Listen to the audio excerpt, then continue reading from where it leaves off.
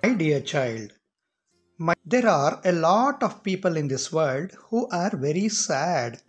I want you to help them. I know you yourself are going through a very tough time, but you are one of my those children who remains positive under all circumstances. Therefore, I want you to spread your positive energy and be a ray of hope in their lives too. Your simple words of positivity will bring about very good changes in their life. The way it is necessary to water a plant every day so that it gives you beautiful flowers in the future.